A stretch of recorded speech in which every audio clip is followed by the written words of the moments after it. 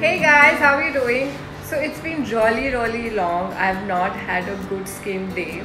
Uh, my skin is looking super dull, super tired. My forehead, there's uneven skin tone, super red pigments, you know, severe tanning, dark under eyes. I mean, what's left? And I met my grandmother the other day. She doesn't put any makeup, and dude, her skin was glowing. And I was like, what are they doing that we are not doing and look like this? So I have decided to challenge myself and challenge you guys.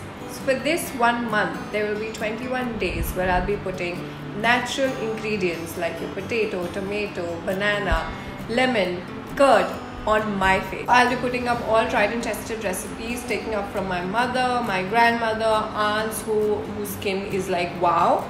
So the challenge starts today. I hope you guys try it too. I will be starting up with a grated potato on my face.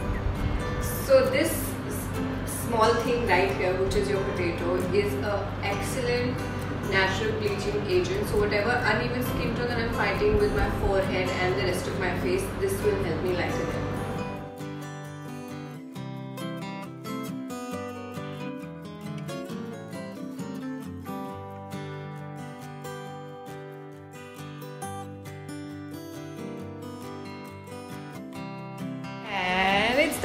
So I kept it for roughly around 15-20 minutes. No hard and fast rule. You can do it for 10 minutes as well. Don't be scared of the redness on my face. It's my skin. It's super sensitive. Even if I scratch it a bit, it becomes super red.